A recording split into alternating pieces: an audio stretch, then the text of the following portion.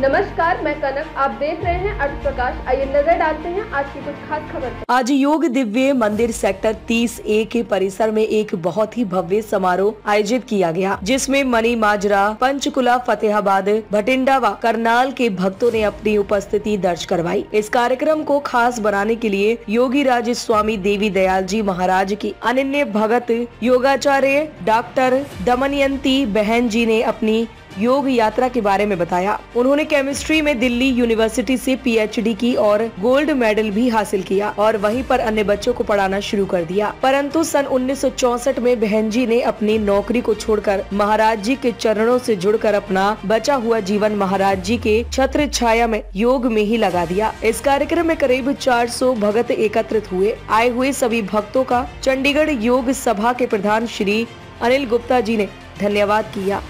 ताज़ा अपडेट्स व बड़ी खबरों के लिए सब्सक्राइब करें आज प्रकाश टीवी और बेल आइकन दबाना न